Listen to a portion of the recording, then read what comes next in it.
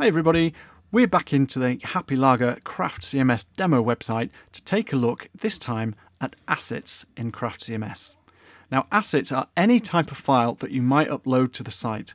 So these could be images, they might be videos, they could be icons or PDF documents, all sorts of different content. They're all referred to as assets, something that you would upload into the site that potentially is output to a page or a visitor to the site could download. Uploading new assets to the site is easy. All you need to do is make sure that you've selected the most appropriate folder or directory on the left hand side and then just head across to the Upload Files button in the top right hand corner. Now as you can see on this page we've got a list of files that have been uploaded. These are all images that are referred to as site assets but this structure of different folders and directories will be customized based on the type of assets that you have in your own site. Now I can use the search in the same way that I can search through different types of content entries. So for example, if I type skate, you'll see that immediately cuts down the results and just shows the matching items. Now if I remove the keyword that I've put in here, you can see that I can filter by the list or the grid view to easily view the thumbnails of each image that has been uploaded. Now going one step further, I can double click on any of these assets and I can inspect particular properties about them.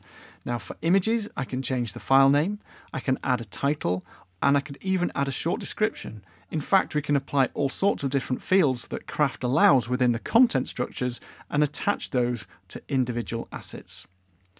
Now with it being an image, I've also got some editorial control over that image as well. And if I hover over the image itself, you'll see that there's an edit button which appears in the top right hand corner. And if I click that, I can actually go and do some basic manipulations on that image. So for example, I can rotate it in whichever direction I need to. I could flip it. I can also set something called a focal point. We'll cover that in a separate video.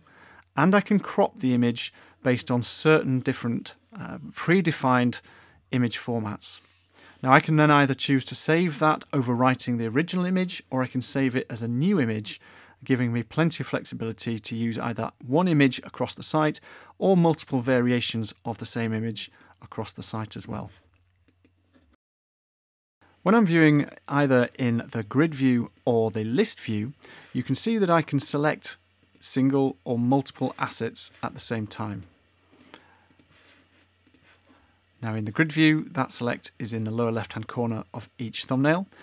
And then this activates my icon up the top here where I can bulk download images or I could bulk delete images. Or if I've just selected a single image, then I've got a few more options to either preview the file, download the file, edit the asset, rename the file, replace the file, copy the reference tag, which is uh, an internal reference to the image within the CMS. That might be something I want to do to go and paste it into one of my content fields elsewhere in the site, or I can edit the image in the same way that we've already seen. Now, it's worth pointing out at this stage that some websites that we build will have automatic image scaling in place.